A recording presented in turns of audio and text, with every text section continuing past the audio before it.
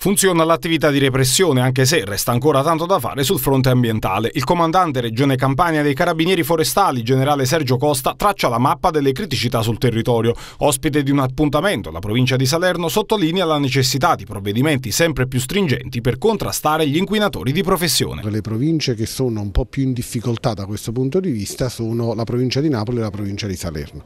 Però ci dice anche che c'è una discreta percentuale di miglioramento rispetto all'anno scorso e rispetto al trend degli anni precedenti. La percentuale degli arresti e dei sequestri è addirittura salita del 3-400%.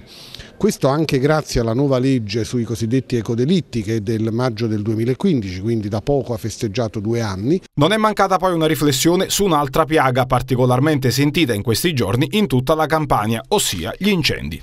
Solo uno stupido può pensare che là si, si incendi per costruire le chiavi di lettura sono altre. Per esempio vogliamo parlare dei pascoli, dei rinnovi dei pascoli e della siccità collegata, quindi probabilmente anche quella è una chiave di lettura, senza criminalizzare categorie, ci mancherebbe altro. Oppure i bracconieri, che è cosa diversa dal cacciatore, ovvero sia coloro che già fanno bracconaggio, ma che mettendo fuoco da una parte della collina spingono gli animali nella parte sana per poterli bracconare con maggiore comodità.